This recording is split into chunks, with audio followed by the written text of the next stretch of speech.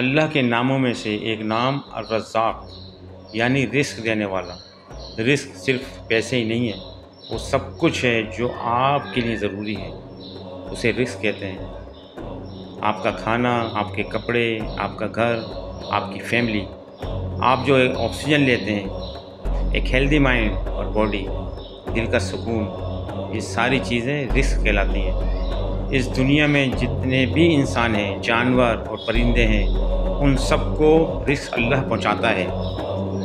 अल्लाह जिसे चाहता है, उसे बेशुमार, बेहिसाब रिस्क देता है और ऐसे ज़रियों से देता है, जहाँ से आपने कभी गुमान भी ना किया होगा। अल्लाह के सिवा किसी और से रिस्क की उम्मीद कभी ना कीजिएगा। अल्लाह आपका राजिक है। अल्लाह पर यकीन कीजिए, आप तक आपका रिस्क अल्लाह ताला पहुँचाएगा। अल्लाह की ज़िम्मेदारी है और अल्लाह आपका ख्याल रखेगा।